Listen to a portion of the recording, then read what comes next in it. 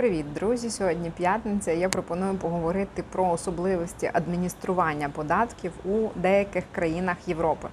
Я наведу це як приклад, просто щоб громадяни України розуміли, а як це відбувається в інших країнах, абсолютно безвідносно до нашої системи. Е, Наприклад, Ісландія. У мене є інформація по Ісландії. Так, це маленька країна, там небагато громадян, але через банківський рахунок є інтеграція з кабінетом платника податку. Тобто усі надходження на банківський рахунок, усі дотації чи виплати, чи повернення податку, вони фактично. е, Як тільки людина отримала чи списала щось з рахунку, вони повністю відображаються у кабінеті платника податку. І е, навіть розказували клієнти, що вони, щоб подивитися, які в них доходи з точки зору офіційної, скільки було нараховано, утримано податків, вони не звертаються до роботодавця, вони користуються кабінетом платника податку на е, сайті місцевої податкової адміністрації. Так само мене, наприклад, цікавило, як списуються податки з рахунку суб'єктів, наприклад, бізнесу, там підприємців у країнах Європи. Так, наприклад, в Іспанії податкова, яка е, просто от ти пишеш свій рахунок. Який е, є рахунком для сплати податків, і щомісяця податкові органи просто надсилають тобі дебетовий запит, так зване дебетове авізо. В Україні такого немає. Хоча в теорії банківських операцій ми таке вивчали. Отже, це е, транзакція, яку самостійно списує ваш контрагент з вашого рахунку і надсилає вам просто квитанцію, що це була якась е, платіжка така про сплату податків. Тобто, на відміну від нашої системи, де ми повинні контролювати момент сплати, дату сплати податків, е, податкові органи е, просто списують з вашого рахунку у конкретну дату, конкретну суму. І вам не потрібно думати. Вам єдине про що потрібно думати, це поповнити кошти на рахунок. Е, Я знаю, що в деяких країнах е, люди, які зараз переїхали, е, у них вимагали дані про усі надходження, в тому числі по руху по українських рахунках коштів і так далі. Тобто, так, є момент добросовісності, але податкові органи, якщо встановлюють отримання доходу, в цілому вони просто роблять перерахунок такого доходу і присилають суму податку, яку ти повинен доплатити. Тобто діалог з податковими органами, податковими органами дуже короткий. І е, він навіть це навіть не діалог, це власне просто факт.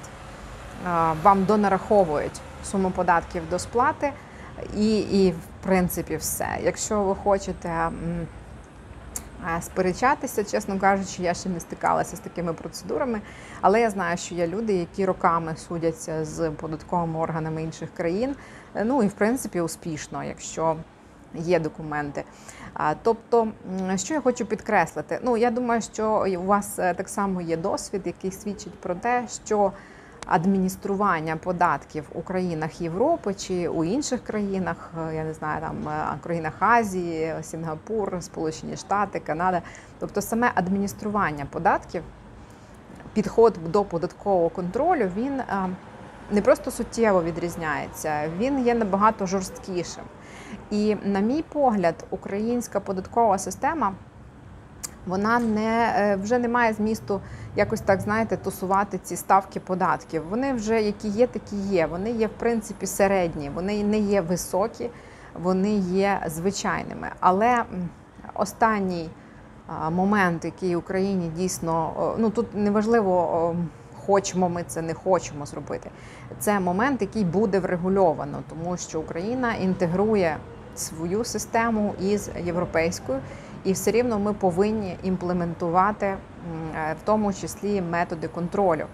Е, Я думаю, що наступним кроком буде не удосконалення е, ставок податків, а удосконалення системи контролю і інтеграції із відомостями з банківської сфери і так далі.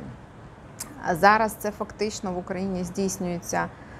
Ну, тобто зараз це відповідальність виключно на громадянах, і механіка контролю доходів громадян, вона, ну м'яко кажучи, відсутня. Ми це з вами і так знаємо, що нас дуже в принципі тішить. Але я хочу наголосити на тому, що все так не буде. І слід розуміти, що буде відбуватися у 23-му році, у 24-му році, у 25-му році. І тут дуже важливо поміняти свою позицію, свою свій світогляд. Бо якщо ви не встигнете адаптуватися, то зміни, які все рівно прийдуть, вони вам не сподобаються. Ось тому е, починайте складати документи, починайте вести фінансові свої справи, е, робити своє досьє фінансове, в тому числі з точки зору податків. Не нехтуйте цим питанням, а це я вам кажу з точки зору майбутнього, а не минулого. Хоча деякі, так би мовити, ж- скелети у шафі, можливо, варто якось зараз задекларувати. Ось у мене на цьому все. Ми а я вам бажаю прекрасних вихідних. Е, Ми щиро вдячні, що ви дивитесь наш канал, ставите лайки, підписуєтесь. На все добре, до побачення.